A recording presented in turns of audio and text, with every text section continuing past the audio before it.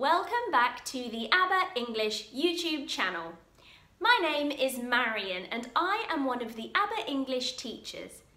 In this video, we will go through some tips to help you learn English if you are just starting. But first of all, let me congratulate you. Starting to learn a new language requires a lot of courage and bravery. Whether you do it out of curiosity or because you need it, we are very happy that you are here. Welcome to the team. Remember, you can turn on the subtitles in English below to help you follow this video better. If you want to find out more tips and grammar lessons, have a look through the videos on this channel. I am sure you'll find them very interesting and of course, you can subscribe to our channel by clicking on the subscribe button.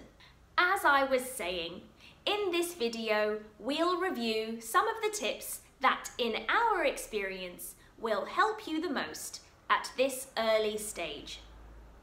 We will start with the easiest things to do and finish with the one which has the most impact on your progress. Let's begin. Here are our three best English tips for beginners. Tip number one, cover all the areas. Reading, writing, listening and speaking. This is actually very logical, but from what we see with our students, it's also very common to focus only on some of them and leave the rest alone. If you balance your studying between all four areas, you will build a solid base. You will put into practice what you've learned by reading, listening and speaking. Luckily, if you are studying with us, you'll see that all four areas are covered in each unit, following the order that our brain naturally absorbs a new language. In every unit, you will be exposed to English with a short film created by us, with real life situations. We call them ABA films. Using the film, listening is the first step that you'll take. The same way that you would if you were learning English in an English-speaking country.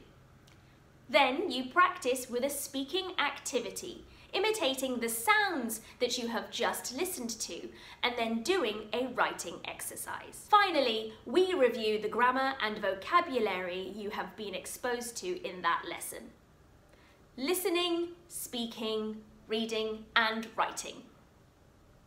Tip number two, know your weaknesses and. Some students have a hard time with conjugating the verbs.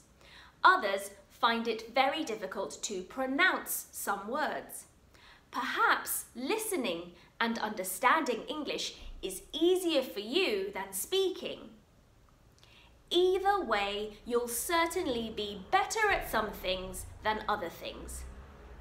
Knowing your weak spots will help you work on them. The same thing happens with understanding your English level. If you are still hesitant, you can take our level test and get some tips and advice on your next steps. You can find it in the description box below. Just click on Show More. Tip number three, stop translating from your native language.